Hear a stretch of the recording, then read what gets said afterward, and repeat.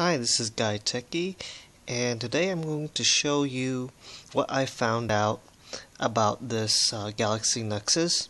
Uh, everyone was complaining, well, not everyone, but a lot of people are complaining about how the proximity sensor is reacting really slow.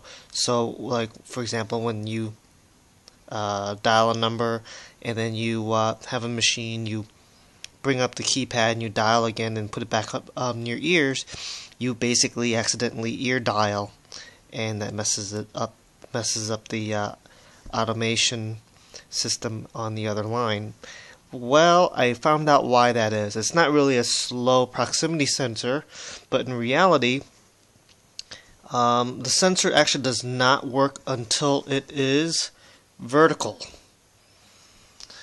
Not really sure why that is. I guess it's to it's a it's to um, make it so that uh, you know it doesn't turn off. It's a combination of both the proximity sensor and the orientation of the phone. So it uses the accelerometer. But to demonstrate, I'll make a phone call.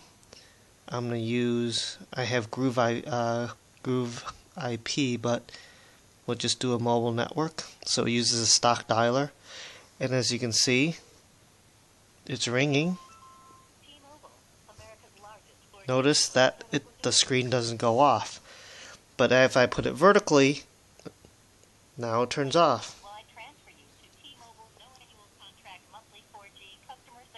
Only, it will only go off when it's vertical. And that's why sometimes you would accidentally do ear dialing. Now, to prove that is the case, it's just the stock app that does this.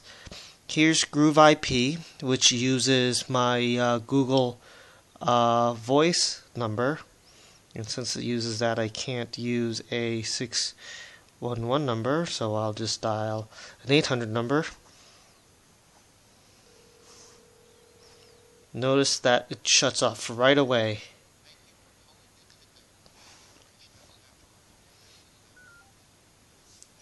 So there you go. So the proximity sensor isn't slow or slow reacting.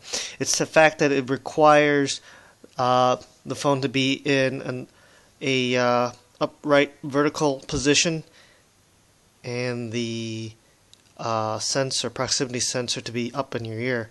So both conditions need to be satisfied before the screen actually turns off.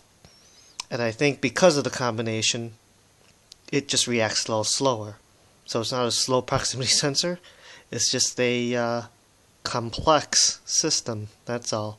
Hopefully, um, Google will see it fit to fix something like this. Again, this is Guy Techie, and thanks for watching.